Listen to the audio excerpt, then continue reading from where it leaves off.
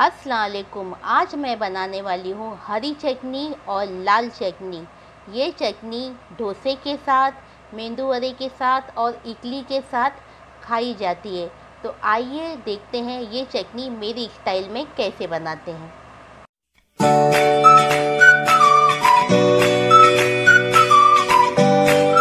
सबसे पहले मैं आप लोगों को नारियल की हरी चटनी के मसाले बता देती हूँ। इसमें हमें क्या क्या लगेगा?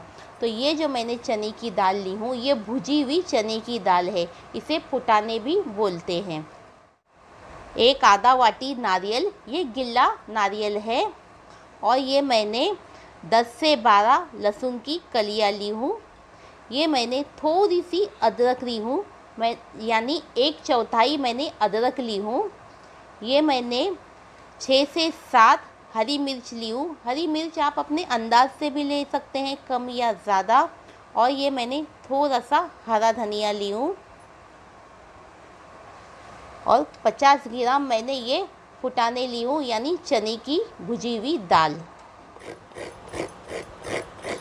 नारियल को हम घस लेंगे। मैं जब भी चटनी बनाती हूँ तो इसी तरह से घस के डालती हूँ। तो आप लोग कटिंग करके भी डाल सकते हैं।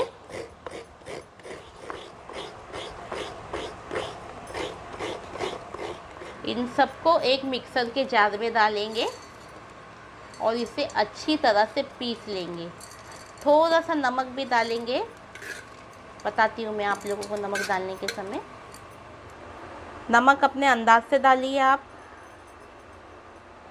थोड़ा सा पानी डालेंगे। ये हमारी हरी चटनी रेडी हो चुकी है। अभी हम इसका तड़का तैयार करते हैं।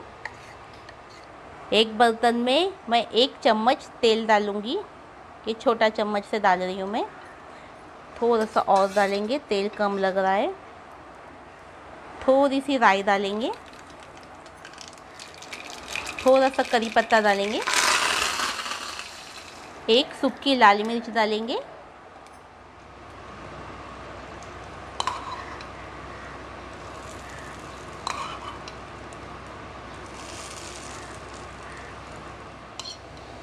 अच्छी तरह से मिक्स कर लेंगे। ये हमारी हरी चटनी रेडी हो चुकी है। अभी हम नारियल की लाल चटनी रेडी करते उसके लिए हमें क्या क्या सामान लगेगा मैं आप लोगों को बताती हूँ। तो ये मैंने गिल्ला नारियल ली हूँ, एक आधा आधा वाटी। ये मैंने चने की दाल ली हूँ, भुजी हुई। इसे फुटाने भी बोलते हैं। ये मैंने 50 ग्राम से भी कम ली हूँ।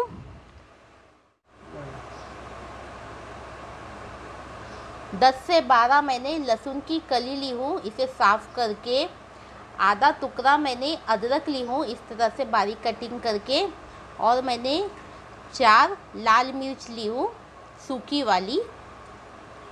और ये मैंने जैसे कि ये मैंने एक चम्मच जीरा ली हूँ।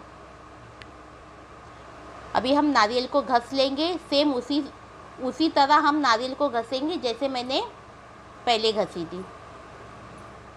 नारियल को घस लेंगे।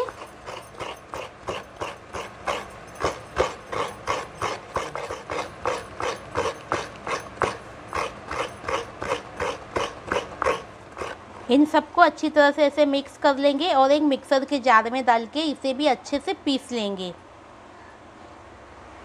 नमक अपने अंदाज से डालिए। ये हमारी लाल चटनी भी रेडी हो चुकी है। मैंने इसमें थोड़ा सा पानी डाली थी। ये देखिए, हमारी लाल चटनी रेडी हो चुकी है। अभी हम इसका बघार रेडी करते हैं। एक बर्तन में थोड़ा सा तेल डालेंगे। थोड़ी सी राई डालेंगे। एक सूखी लाल मिर्च डालेंगे। ये इसमें ऐसे।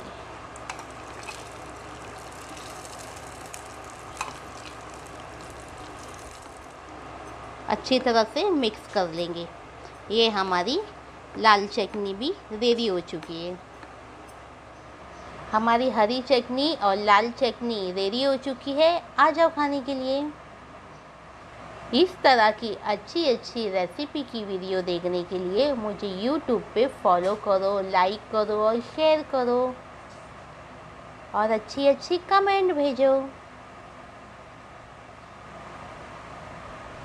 अल्लाह हाफिज़, दुआ में याद रखना।